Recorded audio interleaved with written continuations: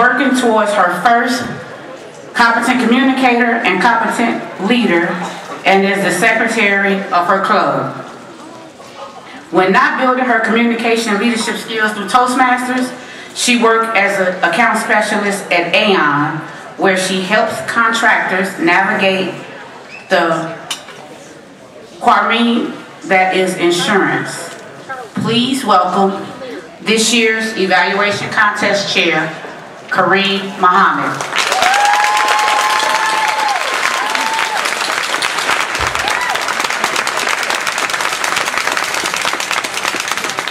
Ladies and gentlemen, thank you for being here.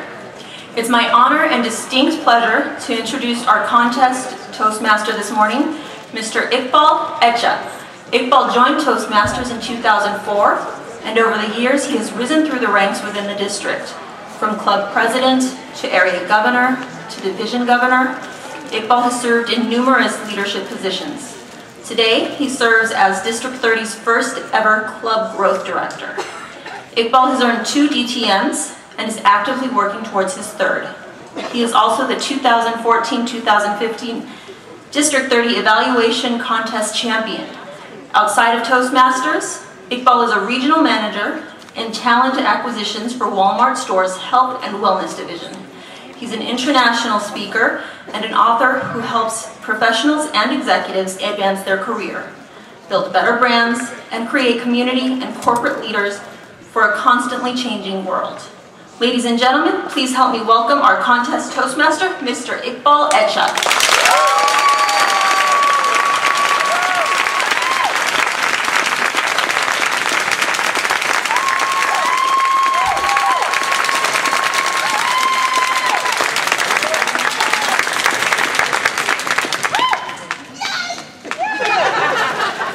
Good morning, ladies and gentlemen, kings and queens, Toastmasters, and guests.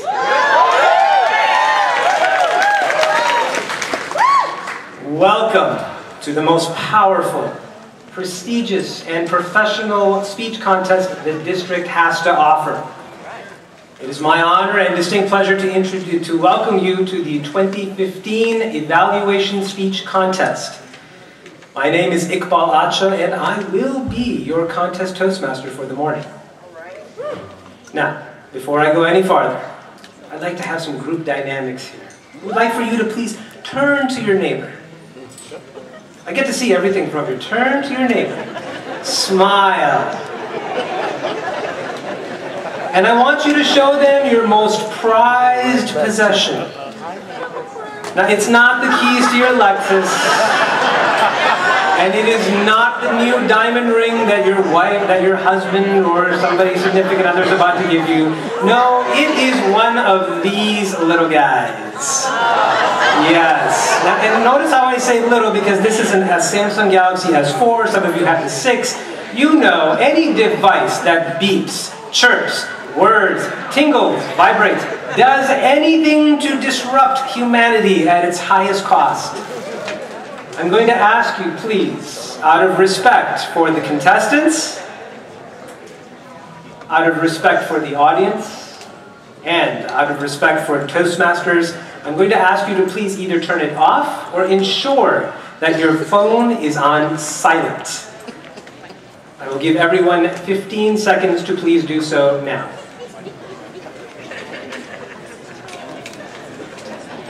Leading by example, off.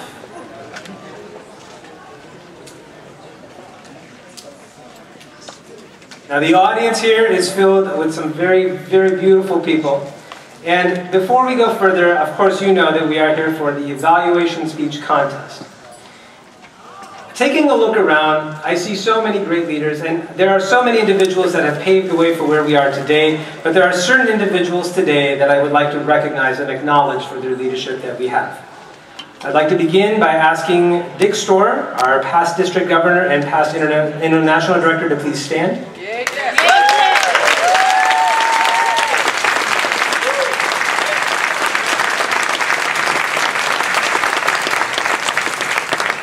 Next, I would like our past district governor and past international director, Mr. Mike Rafferty, to please stand.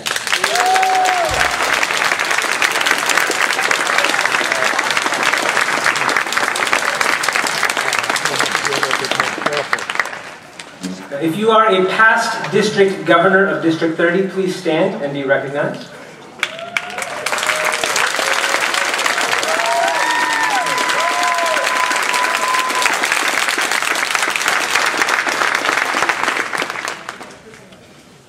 I would now like to acknowledge our district director, Ethel Goatee.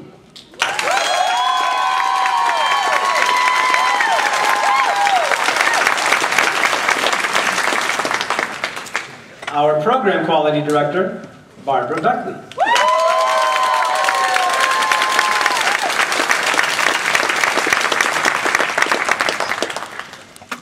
And your club growth director, me.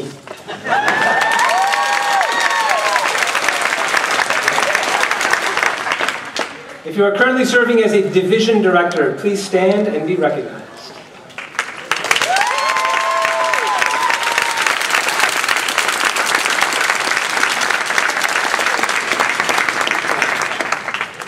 If you are currently serving as an area director, please stand and be recognized.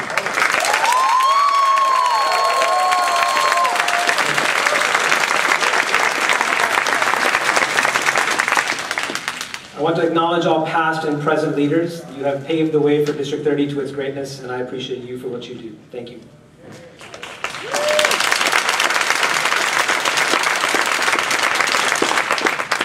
Now, always, a contest must have a disclaimer, just like every commercial, and I think some of you have already memorized this already. But heck, why not? Contestants, timers, ballot counters, and sergeant at arms have all been briefed prior to the beginning of this contest. Everyone, and I mean everyone, is aware of the Toastmasters International rules that govern this contest. No one should enter or leave the room during the contestants' presentations. You may do so if time permits during the minute of silence between each contestant. Thank you. And with that said, let all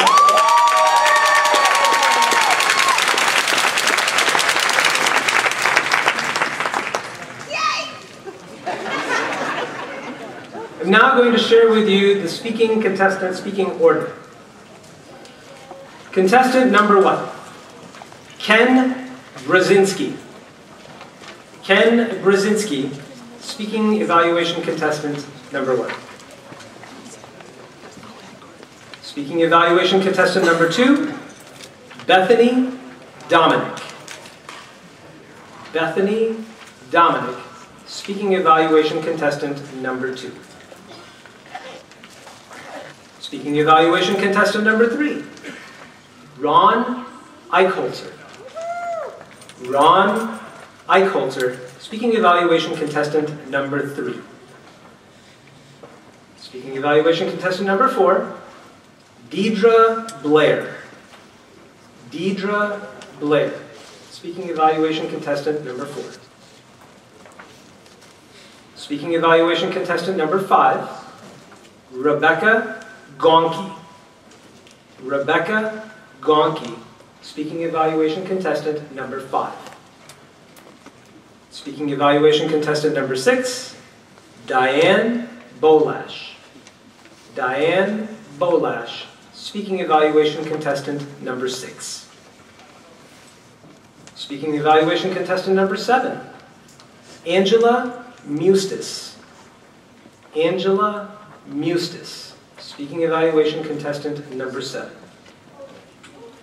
Speaking evaluation contestant number eight, Garrett Gray. Garrett Gray, speaking evaluation contestant number eight. And last, speaking evaluation contestant number nine, Frank Hesser. Frank Hesser, speaking evaluation contestant number nine. Now, in order for our evaluation contestants to compete, we need someone to speak for them. So I would like to introduce our target speaker for this morning, Isabella Giju. And the title of her speech is My Journey to America. My Journey to America, Isabella Giju.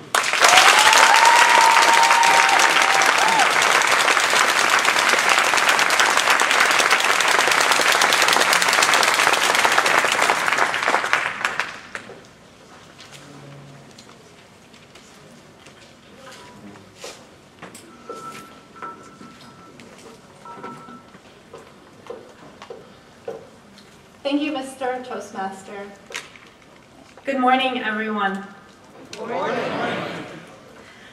I have had a lot of adventures in my life, and by far the most remarkable was my journey to America many years ago. It was a pivotal moment for me, one that changed the course of my life dramatically. And before I get into that, let me tell you a little bit about where I came from. I was born in Craiova, Romania, a city about three hours drive from the capital of Bucharest. My parents were both uh, in college when I came along, and life in the city was very hard during those years of communism. So by the time I was one and a half, and my sister was due to join the family, they decided it was best for me to go and live with my great-grandparents, my mother's grandparents. They had also raised her, so with them, I spent my early childhood. They uh, lived in a small town with a few dirt roads, no running water, and minimal electricity. And they had a small vineyard where I loved to run around and explore.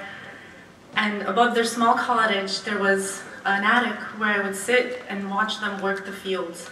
They grew chickens on their small farm, sometimes a pig, um, and mostly fruits and vegetables. And I have images of my great-grandmother husking corn all day long, and my great-grandfather off on his bike to a neighboring town to see what goods he could trade or sell. And sometimes my parents would come and visit and take me to the city with them, or to the town where my sister and brother lived, because they were being raised by my grandparents on my father's side. But for the most part, it was a simple life. And soon, all of that was about to change. Um, I was about five years old when my father escaped communism. He fled to Italy on foot for months, which is a whole other story in itself. And from there, he sought asylum in the US, and three years later, was able to arrange for the rest of us to come and join him. And my mother gathered the three of us up. I was eight, my sister was seven, and my brother three and off we went. Um, it was a very long plane ride. My little brother, terrified, spent it throwing one big continuous toddler tantrum. After that, we landed in New York City, which was our stopover on the way to Boston. And we were greeted by a man, he was American, and my mother communicated with him strictly through gesticulations he took us to a restaurant there at the airport and got us all ice cream sundaes. And I still remember my amazement at how something so beautiful and delicious could exist. And I was savoring every bite and looking around in awe.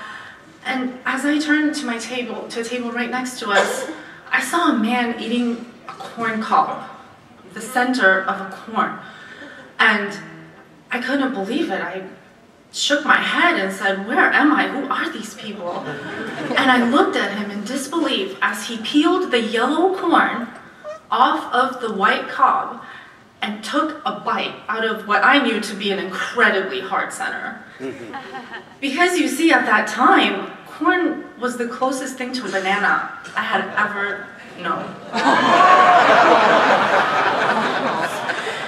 So we finished our meal and my mom heard conversation and hopped on to our next flight to Boston, where my father was waiting for us and he ran towards us, holding flowers for us girl, girls and a great big white teddy bear for my little brother.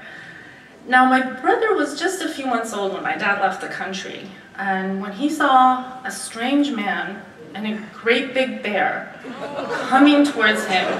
He lost it. And the tantrum he had just finished throwing a few minutes ago was back on in full swing, all the way to our new home. So there we were, one united family, none of us used to each other, each of us having just left what we knew as the comforts of home until then. There we were, away from our dirt roads and cozy cottages, and into the great abundance of America. And that is the story of how I got here. And that is the story I go back to many times when life seems too hard or challenges impossible to overcome. I remember my journey to America, and I tell myself if I survived my childhood being turned upside down, I can do anything now. There's a quote by James Baldwin that I'd like to leave you all with today. Know from whence you came. If you know whence you came, there are absolutely no limitations to where you can go. Thank you all for your time.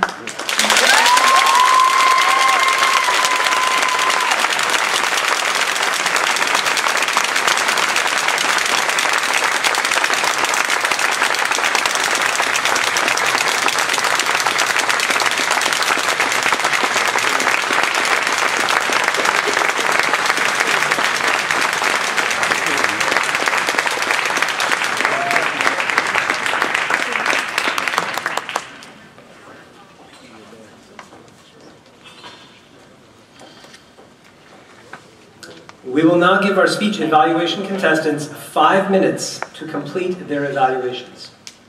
Sergeant at Arms, will you please escort the contestants out of the room and time five minutes for them beginning when they are seated. When that five minutes is over, please escort our first contestant back to the room.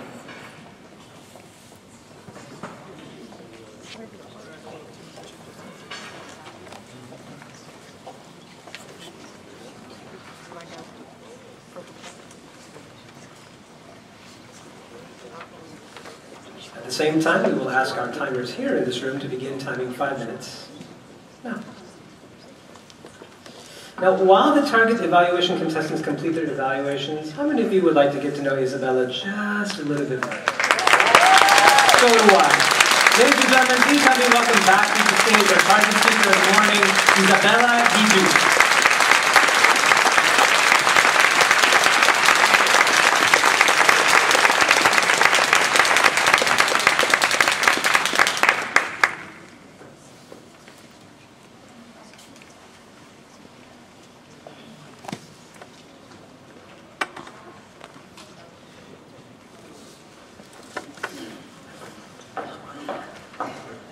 Isabella, you get to share the stage in more ways than one. So Isabella, we have a protocol here. I always begin by asking our contestants the same three questions, so you're going to be the, the first guinea pig for that. Okay. Number one, how long have you been with Toastmasters? Uh, a few weeks since October this year.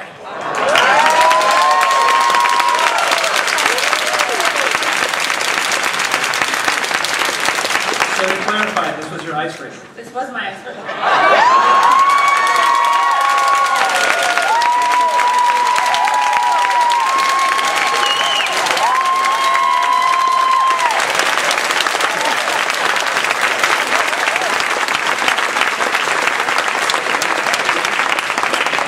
If there was a way to get you did that CC, just like I have in the pocket right now, I'd just do that. so clearly, one of the questions we ask is, what is your Toastmasters designation? We're just going to say, and what club are you a member of? I am a member of Club Toast at UL.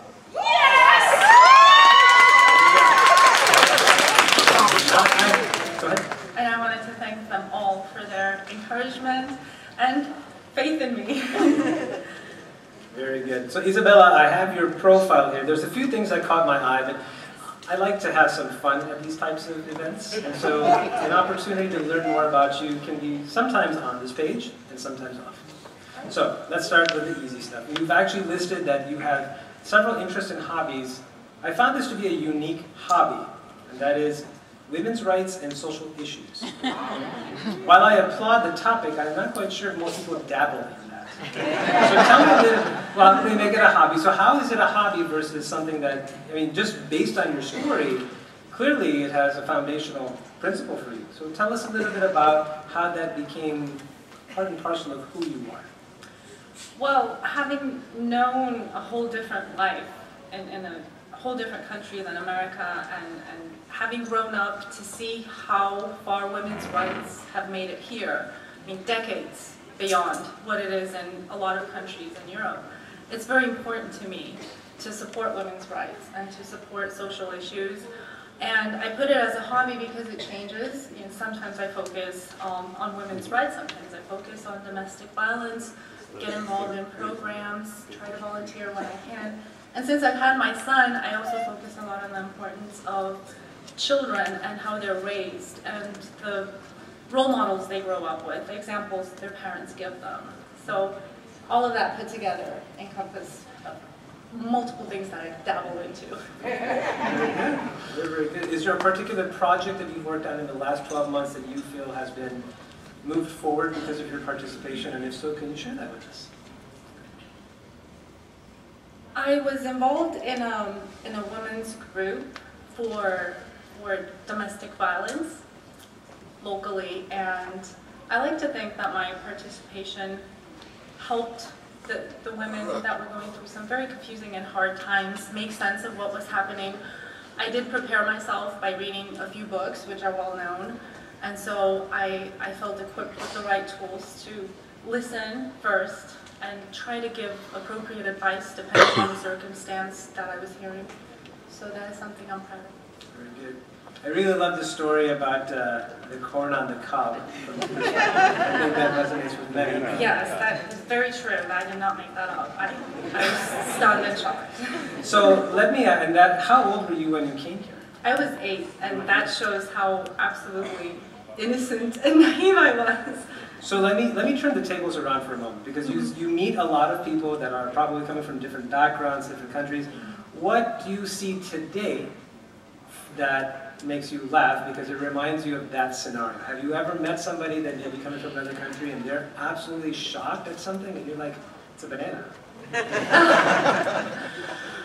Um, trying to think of an example. I, I see a lot of examples in my son, honestly, because he's four years old and there's so much that he discovers all the time, and the way he says certain things or presents certain things is always very innocent without getting to know them. So that's the closest that I can find to it right now. Isabel, I have one last question for Okay. you. And that question is, if you could go anywhere in the world, what would be the coolest place that you would want to go to?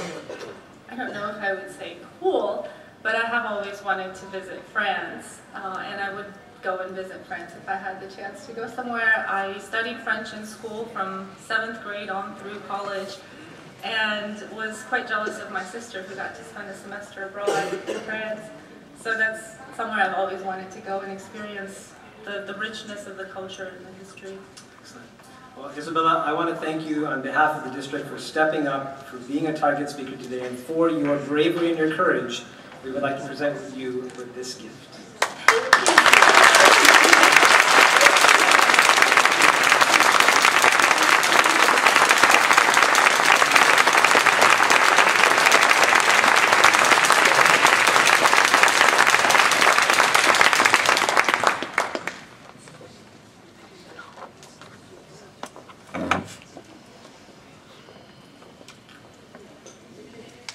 I'm waiting for the first person to come out of that room. Craig Valentine.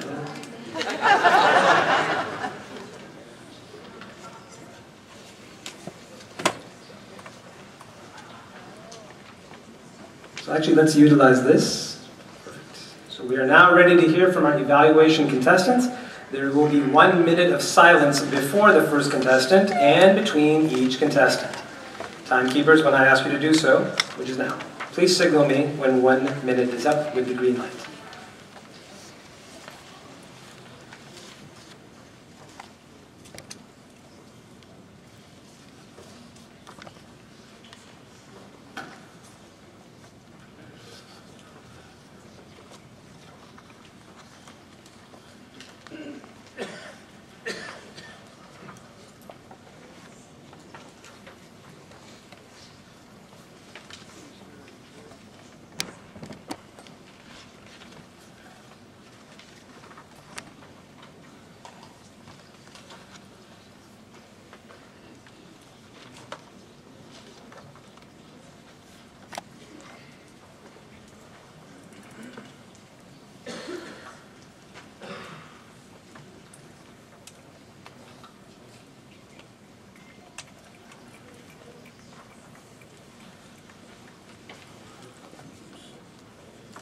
Thank you.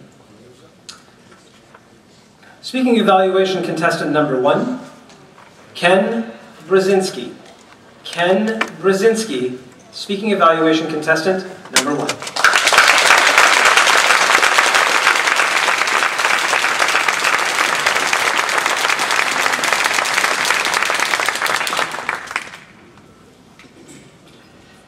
Isabella, your speech had the elements of an excellent speech that fellow Toastmasters, guests, Mr. Toastmaster you may want to note. First, your speech had an engaging title, My Journey to America. Right away I felt, tell me more. Perhaps you felt the same way.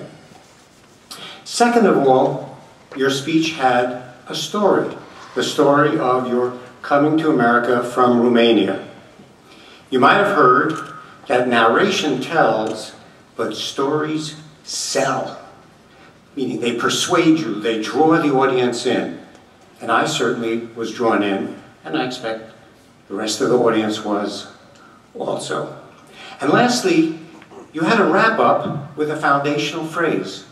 You may hear more about foundational phrases this afternoon from our keynote speaker, Craig Valentine, who emphasizes that you leave the audience with something that when they exit the room and someone said, What did Isabella say? They might say, She said, Know from whence you came.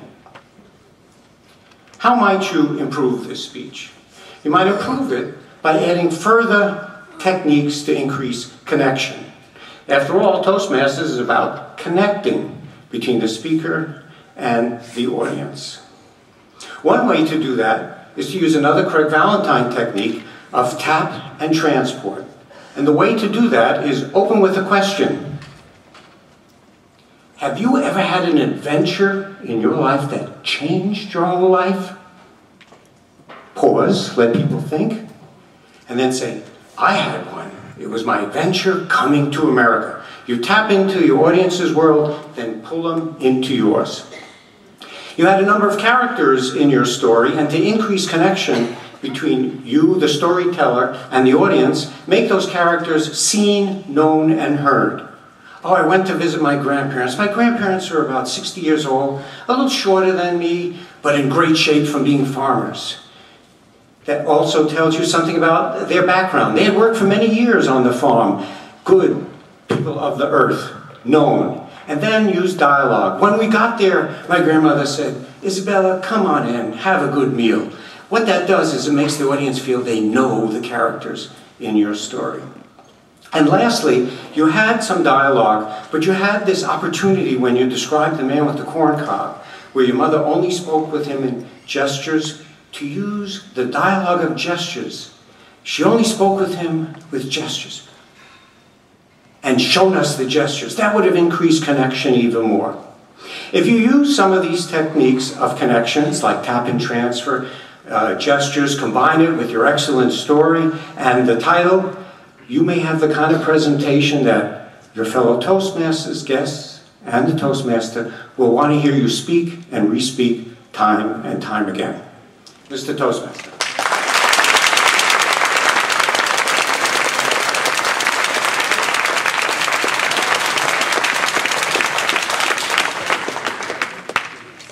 Timers, may we please have one minute of silence while the judges mark their ballots.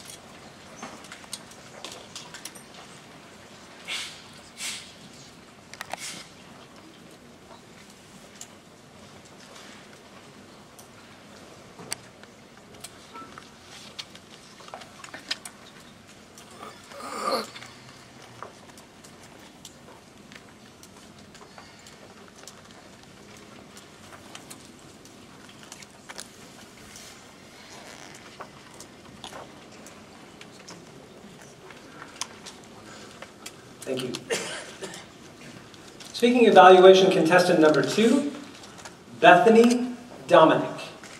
Bethany Dominic, speaking evaluation contestant number two.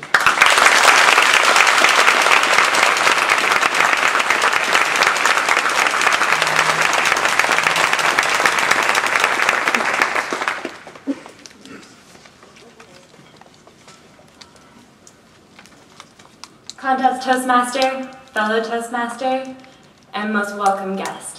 What a joy to hear Isabella's story of journeying from Romania to America. It's such a privilege to hear something personal and something so heartfelt, even in a gathering in front of hundreds of people. I loved so many things about your speech, but I have to just my top two. The first thing that really stuck out was your great pacing. It can be easy when you're nervous to rush really fast or have to take a lot of pauses, but I never felt rushed. And something in particular you did well is it's really easy to pause randomly, but your pauses are always significant. There are always places where you wanted us to really reflect or get the emotional impact of something that you were going through. The thing that really stuck out to me about the jewel of your speech was the incredibly vivid imagery that you used. We could see your grandma husking corn on that porch, or the continuous toddler tantrum of your brother, or those beautiful, delicious Sundays in that American cafe. But what you did really well with your imagery is you didn't just give us beautiful imagery of Romania and then sort of leave off the imagery of the United States.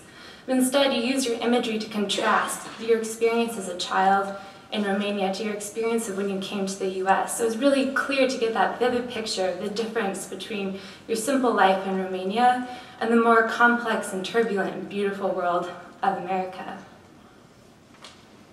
But there are a couple things you can improve. Right off the bat, when you came up here, you touched your hair. And as a woman, I get that. It can be one of my body language stumbles too. But even I think the first minute, your impact of what you do with your body language is so important for how your audience will listen to you or believe you. So watch out for that. The other one is bouncing a little bit at the podium too. I'm kind of getting used to what it looks like to stand at the podium, but it, as much as you can stay grounded, your audience will be able to get the impact of your speech just a little bit more. As I mentioned, I love the details in your speech. You started out your speech with the point that this was an incredibly profound journey for you. And I would have loved to hear how those details related to how profound it was. At the end, you gave us a summary of why it was so profound. But I think at different points in your speech, you connected how deep and emotional and intense that journey was with all your details of Sundays. That would have been excellent. Overall, though, you are an engaging storyteller with a wonderful sense of humor.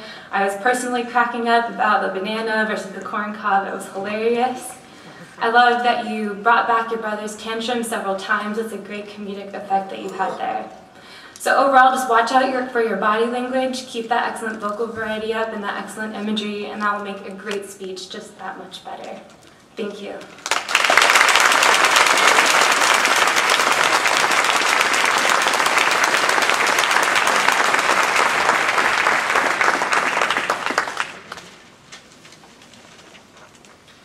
May we please have one minute of silence while the judges mark their ballots.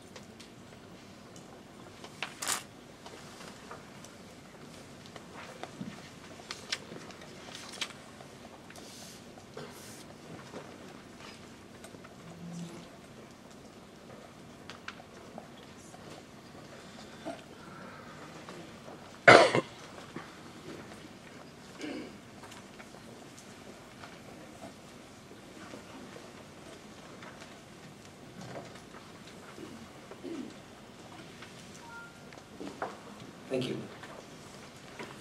Speaking evaluation contestant number three, Ron Eichholzer. Ron Eichholzer, speaking evaluation contestant number three.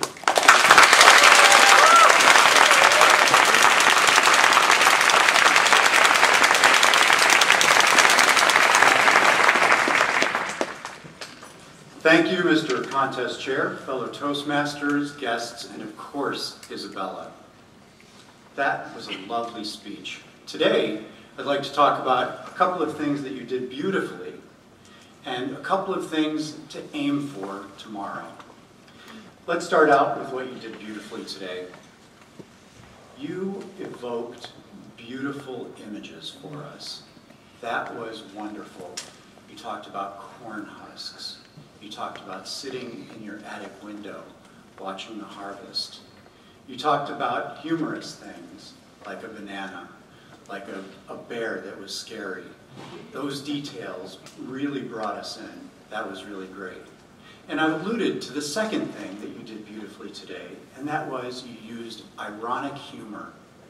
The banana, which you thought was a piece of corn, that was beautifully set up. The whole room warmed up and laughed, and you had us there. And of course, the second piece of humor that you which was ironic also, this big soft bear, this father who you haven't seen for many years is suddenly very scary. That was great. Hey, we're all Toastmasters. We all want to learn. So I'm going to offer you a couple of things to aim for tomorrow if you were to do this speech or one like it. The first thing is think about when you first come on stage and engaging the audience with something that makes them think or makes them think of themselves. You had a beautiful theme, which was going past your limitations. What if, at the beginning of your speech, you were to say, I'd like for all of you to imagine for a moment, a moment when you were feeling your own limitations. Well, let's take a look at how you can get past those today. That way, you not only engage the audience, but you offer something of value and you get them enrolled in what the theme of your speech is going to be. So that's one thing to aim for tomorrow. The second thing is, I think you'll all agree that when Isabella came up here, she gave us something of great value. It was a lovely speech. It was full of emotion and warmth. And at the end, you left us with a provocative thought, which was really great. But before you left the stage, you said, thank you for your time. And I'd like to encourage you to see that we are the ones who are grateful for what you've given us. And therefore, we should be thanking you. You don't need to thank us.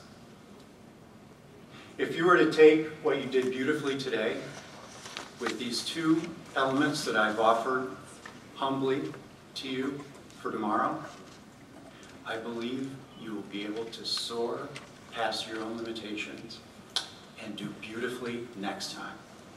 Mr. Toastmaster.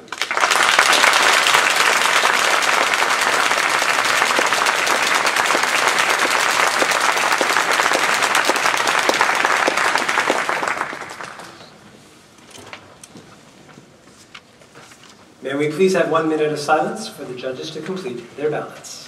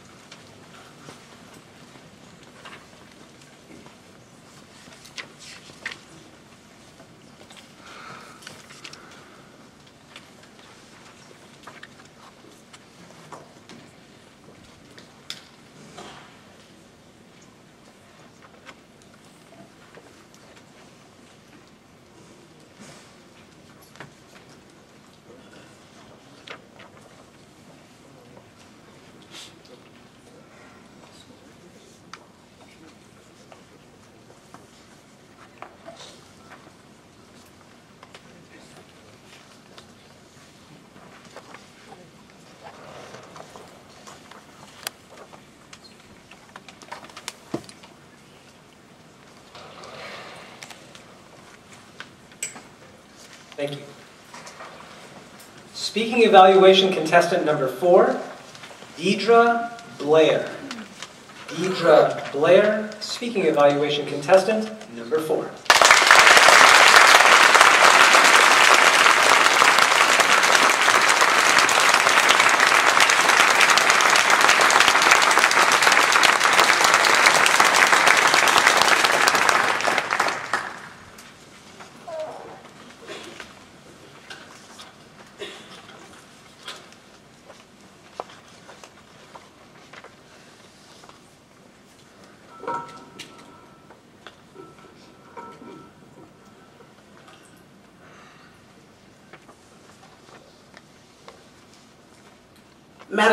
Contest Chair, Mr. Contest Toastmaster, distinguished and honored guests, and fellow Toastmasters, and especially you, Isabella. My journey to America. Thank you for sharing with us such a personal and inspiring story. And it was definitely a great story. The first thing that I would like to say to you, Isabella, is that you came up and you centered yourself. You made sure that you were poised and ready to speak. That's an excellent sign of a good speaker. You began to tell us the title of your speech, which got us ready. But you had me at good morning. You have a very, very welcoming personality. I thought that you painted for us an outstanding picture. As you began to tell us your story about your journey to America and telling us about your life first in Kiowa, I could see you running through that field as a little girl. I could almost see wind blowing through your hair as you ran. It caused a smile to come to my face, and I'm sure to everyone else who is here. You shared a very enlightening story, one of which I'm sure many of us can identify. I loved the description you gave us of ice cream being beautiful and delicious. I enjoyed the humor you interjected in your speech. How you described a banana as you thought it was a corn cob. That was absolutely hilarious. And also the story about your little brother thinking that he saw a bear. I can only imagine as a child that is something that he would do. Something that I would encourage you to do is something that we used to say in the United States Marine Corps. When there is an obstacle, we have to learn how to improvise, adapt, and overcome. We found out just moments before the contest that we would have to use the podium. However, even when you are speaking, you can always step away from the podium and use bodily gestures. Let me give you an example. As you were talking about running through the field, you could have stepped away and done a gesture such as this.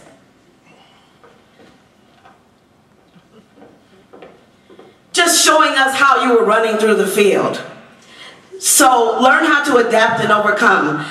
I commend you for this speech. I commend you as a storyteller, and I encourage you to consider entering the humor contest. You are an excellent speaker, and I enjoy you very much. Mr. Contest.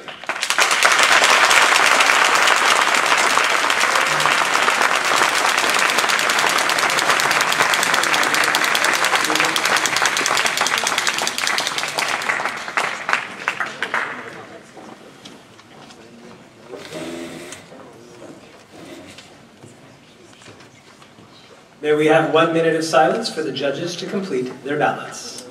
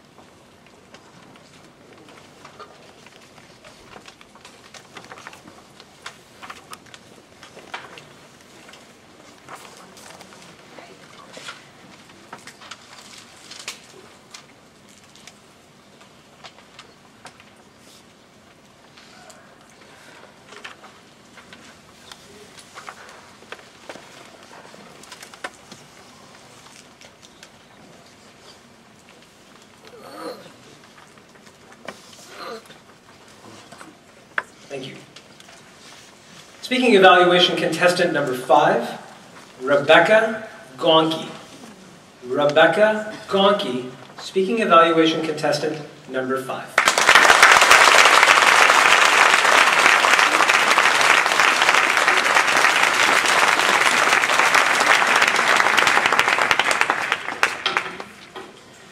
Thank you so much, Mr. Toastmaster, fellow Toastmasters, especially Isabella. Incredible speech you gave us today. You did an outstanding job, and I'll talk in more detail about the things that you did really well. But I think more importantly is that your speech was powerful. This was a story, I think I could have listened to you talk about this journey that you took for hours. As you talked about this, the things that came to mind for me that you did really well were in three categories. First of all, I mentioned that your speech is powerful. Now, what do I mean by that? You told us about things that are shocking. Your father walked from Romania to Italy. I'm not great with geography, but I know that Romania is up there by Russia, and I know where Italy is because it's really prominent on the map. That's quite a journey on foot. Most of us can't even fathom what that would be like and what duress you would have to be under to make that trip. You talked about being raised on a farm where your great grandparents were working the fields. Now, if I do the math, I think that even if everybody in their family had children at a young age, they were probably working really hard. It was really a difficult life for them. And then you came to the USA at age eight. That's a really formative time in a young lady's life. And I can't imagine having your world turned upside down like that. But you didn't make this speech about how difficult it was. You made this speech about how powerful it was and what a positive impact it's had on your life. The second thing I liked about your speech is that with all this power, you still had a point, and you made it very clear. Know from whence you came because if you understand that, there's no limitation on where you can go. And thirdly, you made it very clear that you have studied some of the lessons in the competent communicator. I especially noticed that the how to say it speech sunk in with you. You have a fantastic grasp of the language, especially because I don't think it was your first one. But you use this wonderful, colorful language to describe cozy cottages in great abundance. You talked about the ice cream sundae being beautiful and delicious, and it was fantastic. The things that I think you could do better are just be conscious of your motions. You had some nervous, kind of bouncy motion, which belied your nerves, and it was the only way that you gave that away. And then there was a lack of purposeful motion.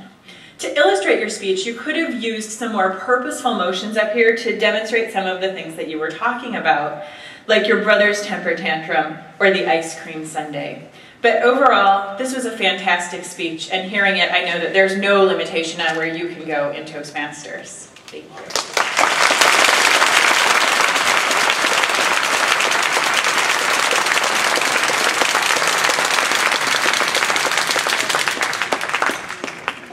May we please have one minute of silence for the judges to mark their ballots?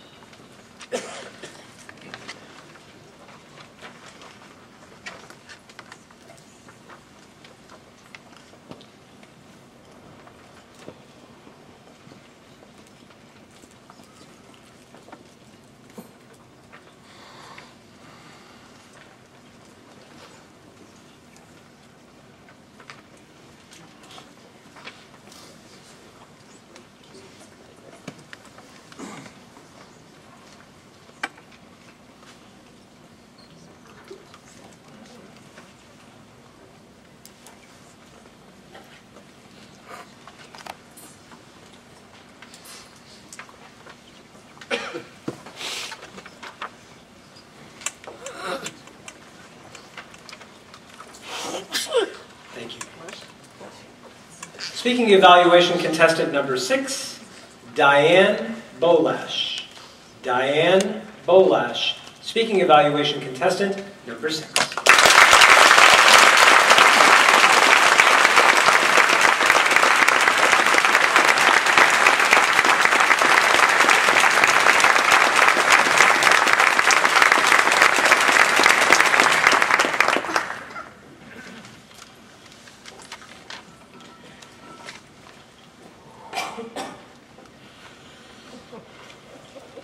Mr. Toastmaster, dignitaries, fellow Toastmasters, guests, and most importantly, Isabella.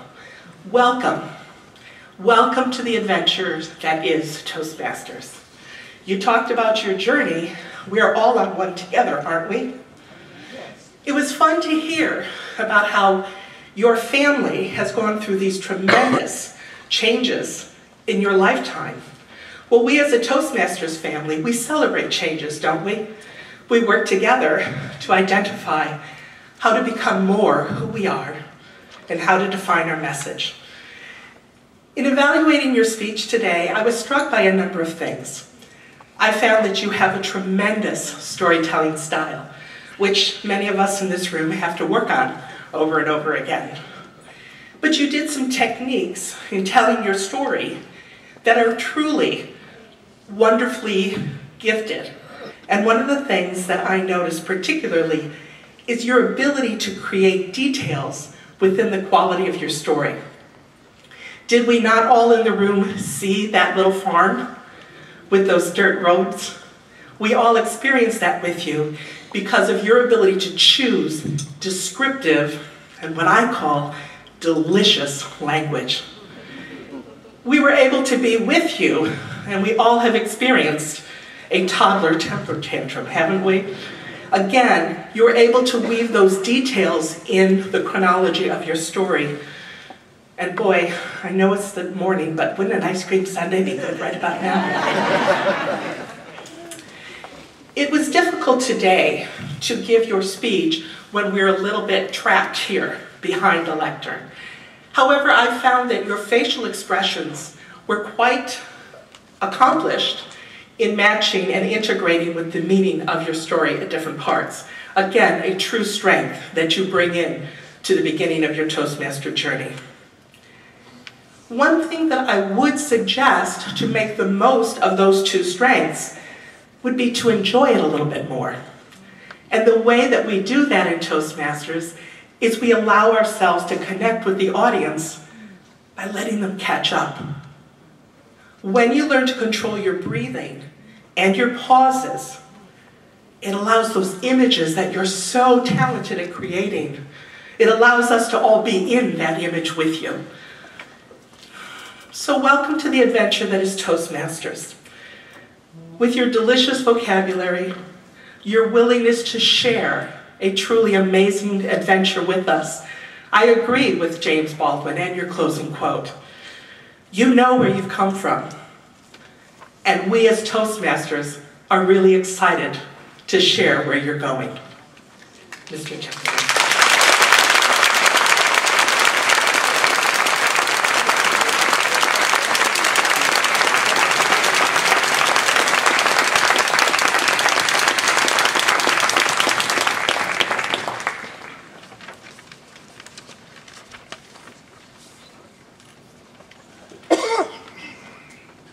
May we please have one minute of silence while the judges complete their ballots.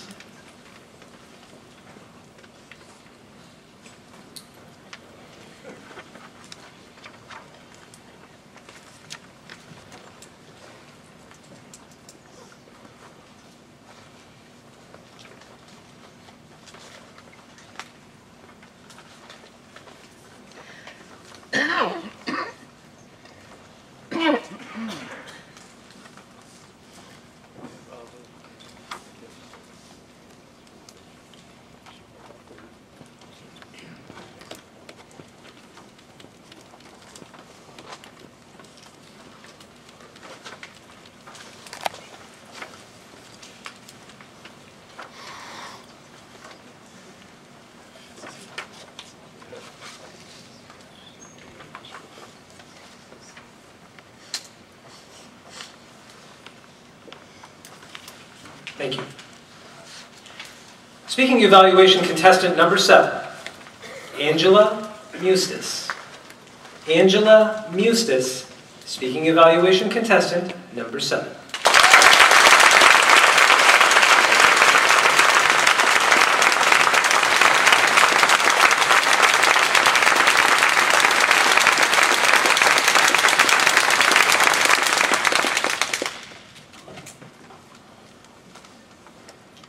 Mr. Contest Master, fellow Toastmasters, welcome guests, and especially Isabella. Everyone has a story, and I thank you so much, Isabella, for sharing your story with us today. It is not easy to get up on a stage like this in front of, I don't know, a couple hundred people and share something so personal. So I, I want to start off by commending you for your bravery in getting up here and giving us a wonderful speech to evaluate today. There are a few things I'd like to point out for you that I see as core strengths that you already possess, as well as some tips perhaps that could help you with future presentations. One thing I want to start with is organization. You really did capture the audience with your opening about how many great adventures you've had in your life and then telling us you'd like to tell us about your trip to America. You close with such a strong message and closing to your speech that really speaks to everyone in the room. You really related to the audience in how you closed with the quote, know from whence you came, and how the challenges that you face in life couldn't possibly compare to what you overcame as a child. In your organization, I would like your opening to actually include something about the challenges you face. Maybe a current challenge that you're dealing with now that let you think of this past event. Perhaps it could be, I'm really struggling with finding a job, or I'm struggling with fighting with my best friend, or someone I care about passed away recently.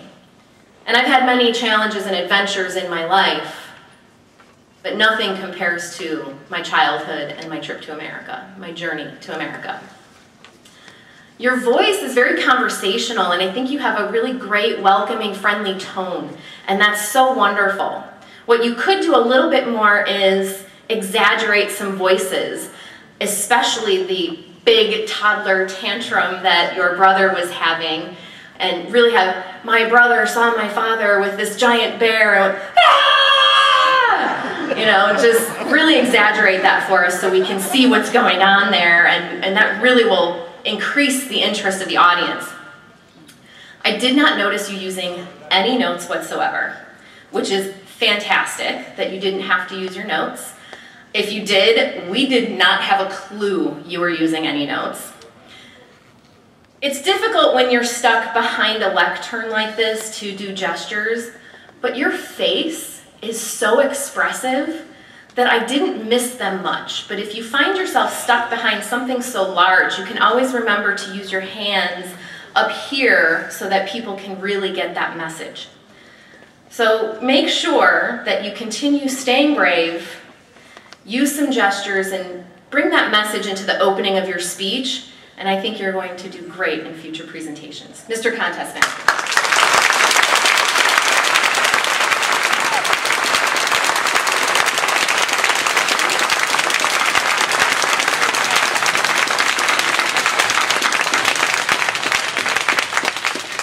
May we please have one minute of silence while the judges complete their ballots.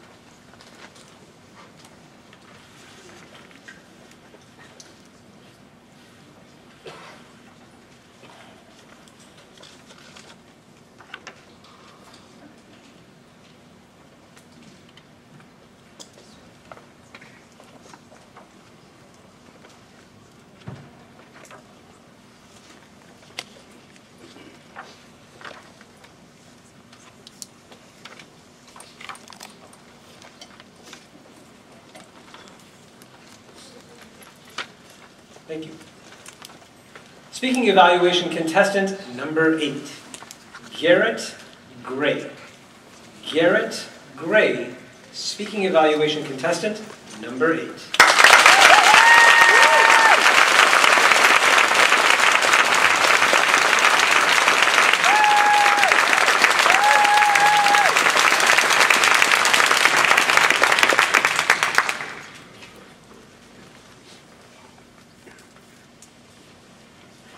Mr. Contest Chair, fellow Toastmasters, distinguished Toastmasters, guests, and especially our very own Miss America, by way of Kiowa, Isabella. Isabella, nice job. Today I'm going to talk about three strengths that I liked. I will also talk about three potential areas of growth going forward. And last, Isabella, I'm going to tell you one thing absolutely loved about your speech here today. Number one, of the things I liked, you were prepared. You had great eye contact, and that established a connection to us that overcame this physical barrier. And you had to roll with the punches by speaking behind here. Nicely done. Number two, you used humor. You talked about your brother throwing tantrums in the plane, and when he saw a bear. And you talked about eating a corn cob, and you couldn't believe it. We laughed, but that humor tool engaged us and connected us even more. Very powerful tool. Number three, you story told. And not only that, it was your story. You lived it and you brought us on your journey to America with you. Instant credibility and great sincerity. Well done. Now, Isabella, three potential areas of growth going forward are as follows. Number one, gestures. Even though you were limited by this barrier, I felt you could have augmented and made more vivid storytelling by just upticking your gestures. You mentioned your mom got ice cream by talking to a guy with only gestures. So gestures are very powerful. So when you talk about a three hour drive, show it to us. Or husking corn, show it to us. Number two, vocal variety. You have a great steady voice, but I thought there was opportunities when you talked about you were in disbelief at seeing a guy eat corn. I want to hear that disbelief in your voice. Oh my God! I can't believe what he's eating. It's an American favorite. Last, I thought you needed to, to use dialogue to flesh out your brother. He was having these tantrums on a plane. And then he saw the bear and had another camp tantrum. What did he say? How did he sign, sound? Did he say, Mom, I want to go home? Both times? What did he say? Let, flesh out the character of your brother, and that will add humor as well. But last, Isabella, what I absolutely loved about your speech here today was your sincere message of appreciation. You told us of this great journey, that how when you were, came to America, you can appreciate the small things such as ice cream. So, Isabella, if you just continue with your strengths of preparation, humor, and storytelling, and just uptick your gestures, vocal variety, and dialogue, the next time you speak, you will sound like an American dream.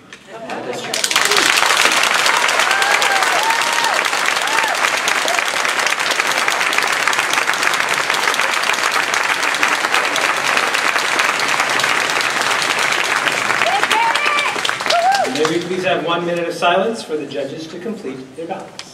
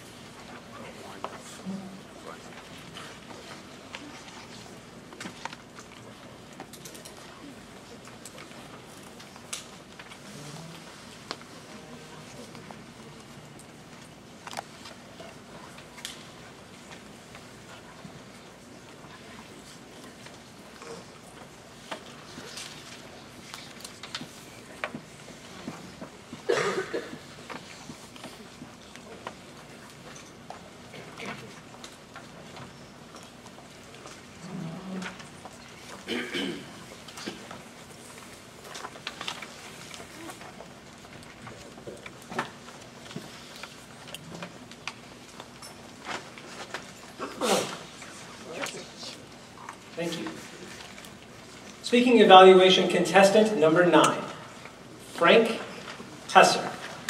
Frank Hesser, speaking evaluation contestant number nine.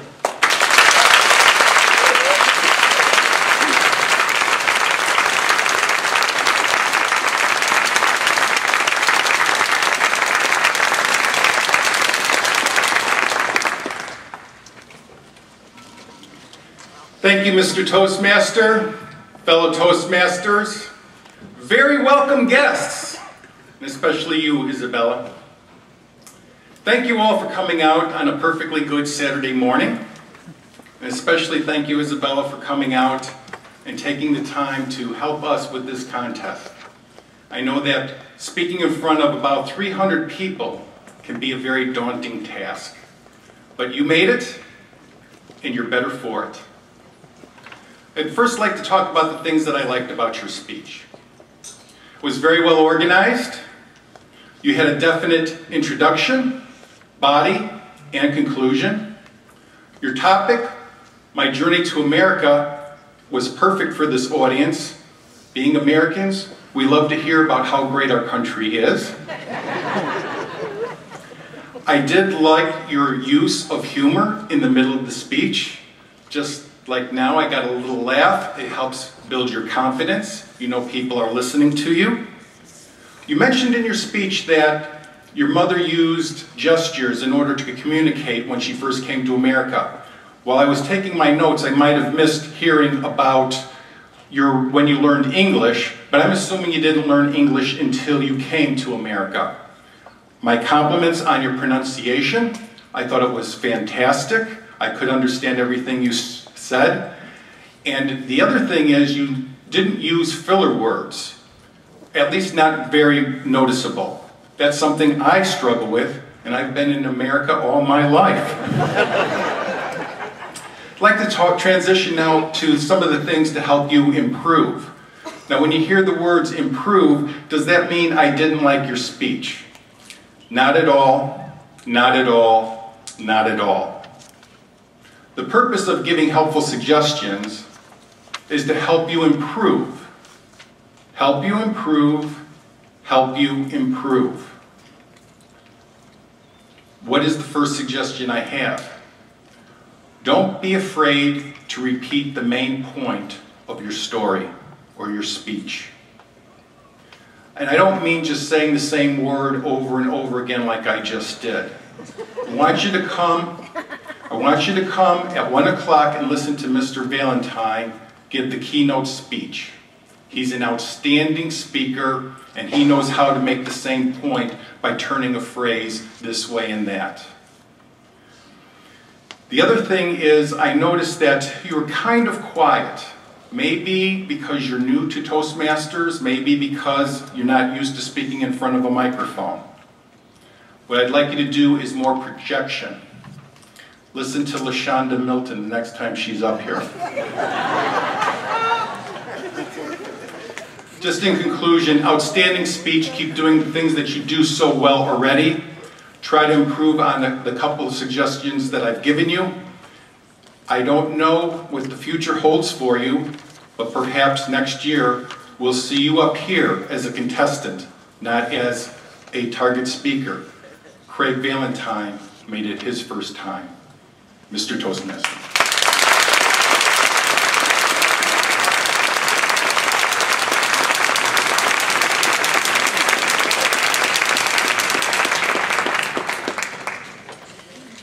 Now everyone please remain silent while the judges complete their ballots and have them collected by the ballot counters.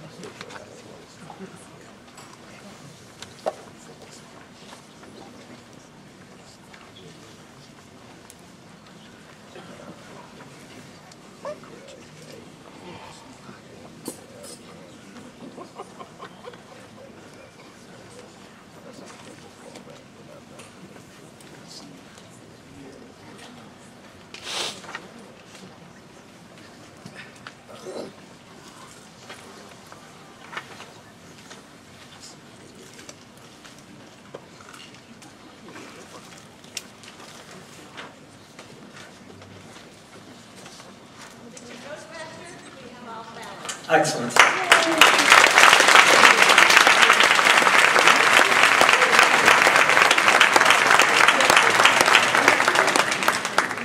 So it's time to get to know our contestants, and I'm going to ask each of our contestants to please line up between the balloons in the order that you spoke. So a round of applause for our speaking evaluation contestants. please.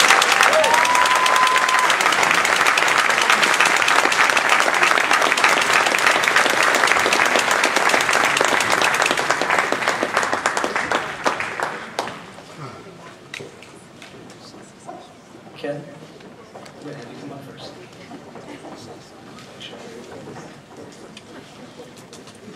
Good morning, Ken. Good morning. How are you, sir? Good. Fantastic. I have three standard questions, which I think you've been through twice. Number one, how long have you been with Toastmasters? Since uh, October 2011, And what club are you representing here on Street stage? Toastmasters. What? And what is your current Toastmasters designation? DTM.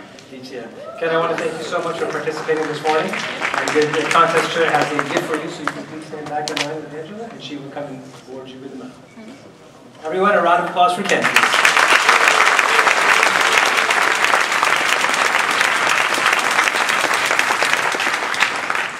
morning, Bethany. Good morning. How are you? I'm great. How are you? I'm doing fantastic. Number one, how long have you been with Toastmasters? About two years. Okay. What club are you here representing on stage this morning? Toast to the loop. What is your current Toastmasters designation? I just got my CC yesterday.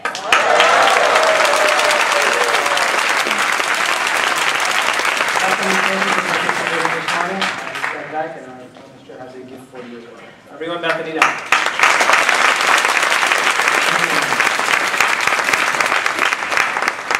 Morning, Ron. Good morning. How are you? I'm great, sir. Same three questions. How long have you been with Toastmasters? Since June 2003. It's been a while. Jerry, the one. What club are you here representing? Uh, it- You'll forgive me for bragging just a little bit, but it's the best club in the world. Unity Toastmasters in Rogers Park.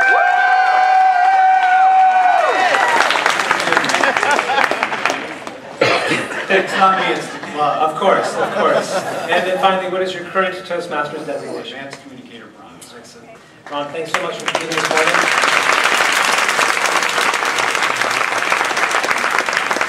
Good morning, Good morning. How are you? I'm wonderful. How are you? I'm blessed. Thank you for asking. How long have you been with Toastmasters? I've been with Toastmasters since July 2012. Very good. And what club are you here representing on stage this morning?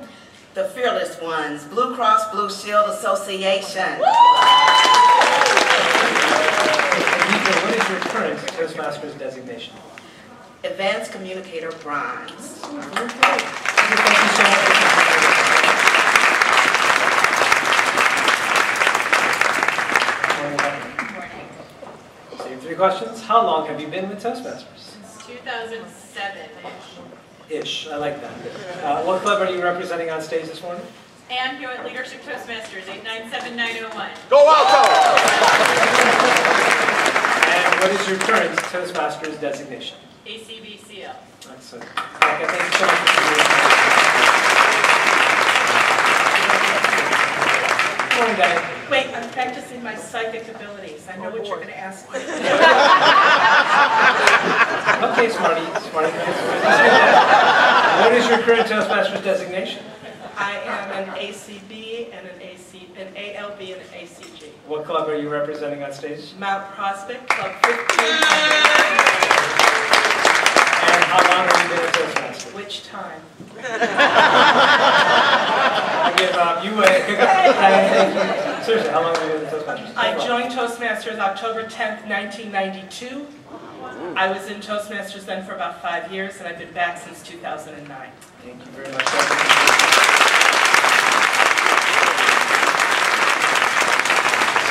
Morning, everyone. Morning. Same Three questions. How long have you been with Toastmasters? I've been with Toastmasters nine years now.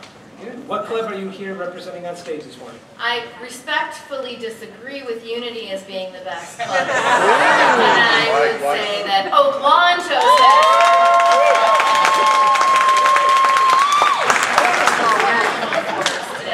And what is your current Toastmasters designation? I'm a distinguished Toastmaster. Excellent. Thank you so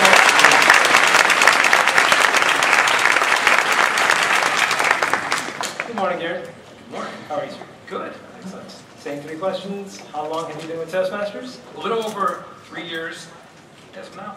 Okay. And what club are you here representing on stage? Well, I'm part of four best clubs, but the one best club I am representing right now is Orland Park Toastmasters. And what is your current Toastmasters designation? I'm one three-minute speech shy of my advanced communicator silver and a couple away from my advanced uh, leader uh, bronze. Excellent. Garrett, thank you so much for being here.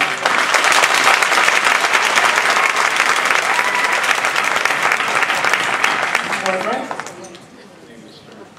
So, how long have you been with Toastmasters, sir? Uh, Ken, man after my own heart, I joined in October 2007. And what club are you representing here on stage this morning?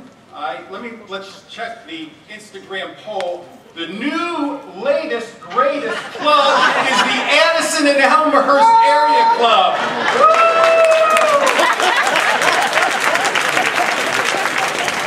And what is your current Toastmasters designation? I just earned my DTM last month.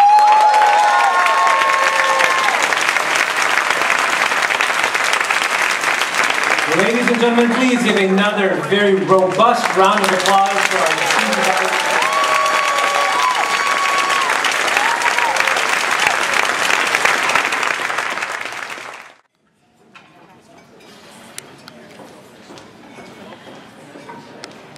Thank you all again so much for coming and for making this a wonderful evaluation contest. And a special thanks to our target speaker who was so brave and essentially gave her icebreaker for us today.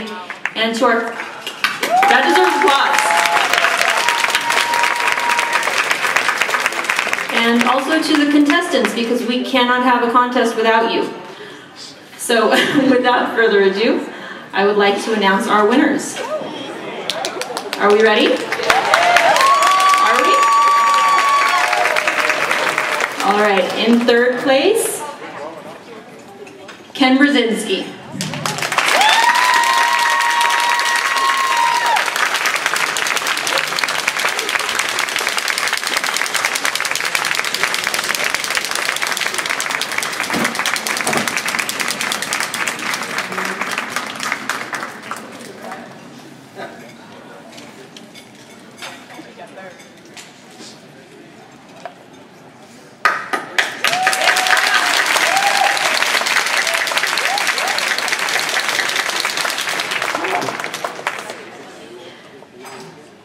Second place, Diane Bolash.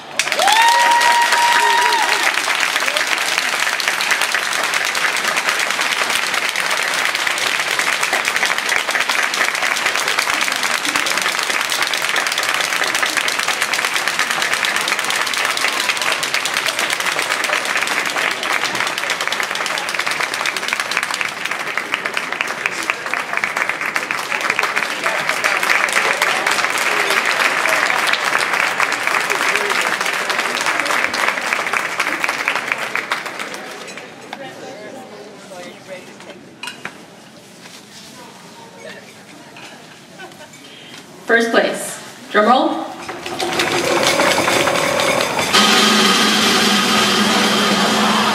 Whoever did that is magic, thank you.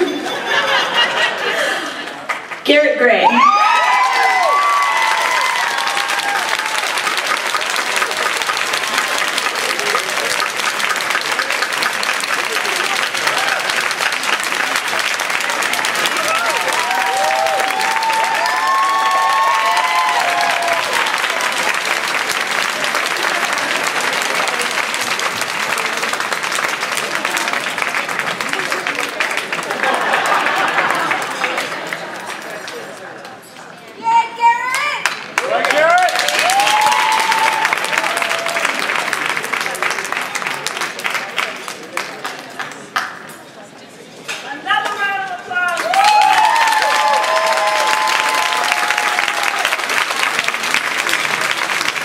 Give our contest chair, Kareem Mohammed, a wonderful applause because she did an awesome job.